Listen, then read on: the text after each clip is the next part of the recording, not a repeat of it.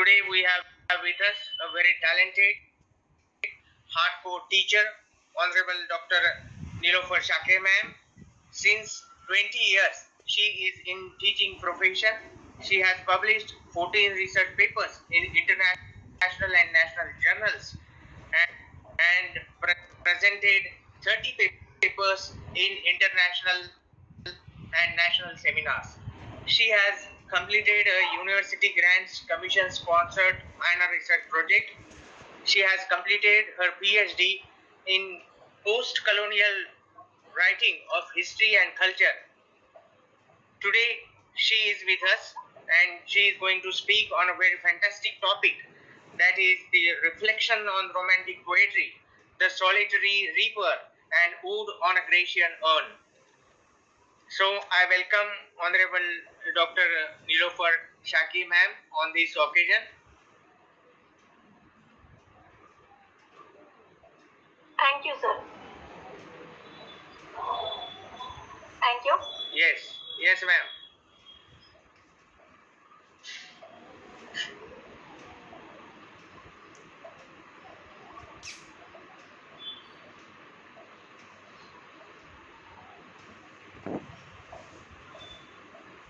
Yes, ma'am.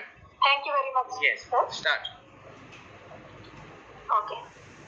Uh, thank you, Dr. Ranjanikar, for uh, your uh, wonderful introduction. And uh, before I begin with the, the lecture, let me pay my, my homage and humble tribute to Sant Sautamadi, uh, uh, a great uh, saint. Uh, today, as uh, Dr. Ranjanikar has said, that I am going to speak. I am going to speak on reflections on romantic poetry, uh, with special reference to uh, the two poems that I have chosen. Uh, one is the Solitary Reaper by William Wordsworth, and the other poem is Ode on a Grecian Urn by John Keats. Hope I am audible enough. Um, am I audible, sir? Uh, right.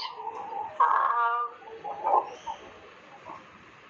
now, before I come down to the poems, let us know in brief what is Romanticism. Romanticism is an, was an intellectual movement that began in the late 18th century in Britain and continued up to the mid 19th century. It started in Britain and then it spread to its neighboring countries like France, like Germany, and then to other countries of Europe like uh, Italy, Spain, Poland, etc. In literature, uh, this movement began in literature with the publication of uh, lyrical ballads, which was uh, a book jointly written by William Wordsworth and S.T. Coleridge. This movement began in other arts as well, like architecture, painting, music, etc. Now, what was this movement? Let us uh, study some of the characteristic features of the Romantic movement.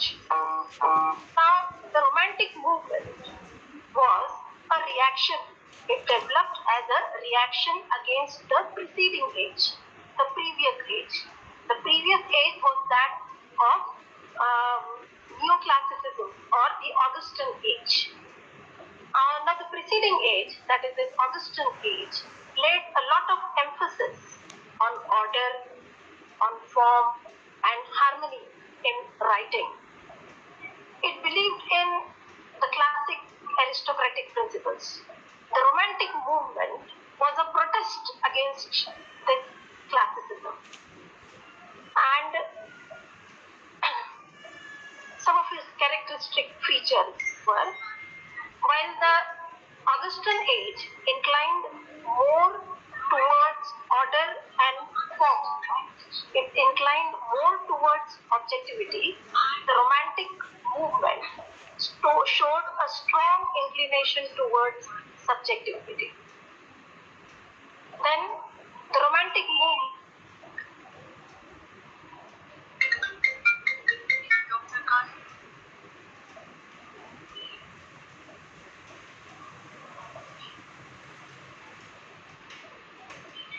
inspired by the two great revolutions that is, the French Revolution and the American Revolution.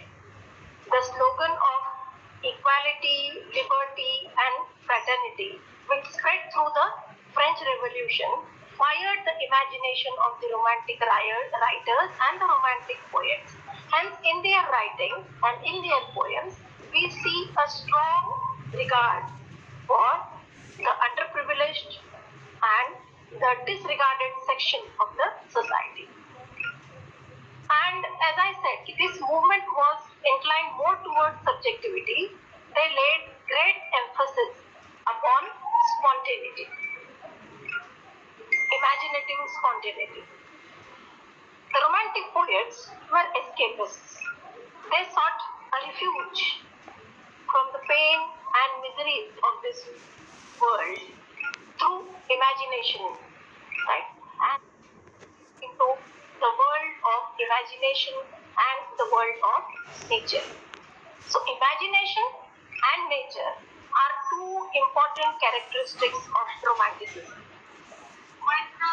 Nature for the romanticists was uh, not something uh, like something which is natural.